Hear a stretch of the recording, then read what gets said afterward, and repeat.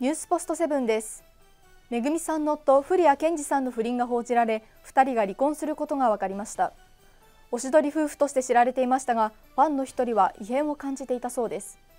めぐみさんは古谷さんのインスタグラムによくいいねを押していたそうですがファンによると7月初旬を最後にいいねがなくなったとのこと。